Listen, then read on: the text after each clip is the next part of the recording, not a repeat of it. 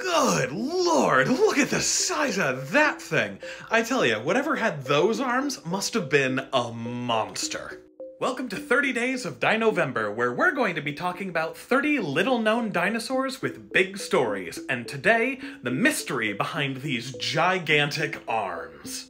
So our whole story starts with this woman, Zofia Kielan-Jaworowska, who is a strong contender for the most badass paleontologist to ever exist. I mean, seriously, during World War II, she served as a medic in the Polish resistance up until the Warsaw Uprising when she was 15.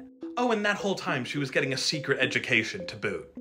And after the war, she would go on to be the first woman to lead a dinosaur expedition where they would find these horrifying 9 foot long disembodied arms, and appropriately, they would name this dinosaur Deinocheirus, meaning horrible hands. Now, it was initially thought that these arms would have belonged to a giant predatory dinosaur like Allosaurus here, until some further study concluded that those arms actually looked a whole lot more like the ones we see on ornithomimids, the so-called ostrich-mimic dinosaurs like Gallimimus, except way bigger. And so now we thought Deinocheirus looked like this, at least until we found the rest of it. Really? We sure about that? God, it looks like a T-Rex-sized Muppet monster. Well, they found two of them, so yeah, we're pretty sure. You never know when a new discovery will completely rewrite what you thought you knew about an animal.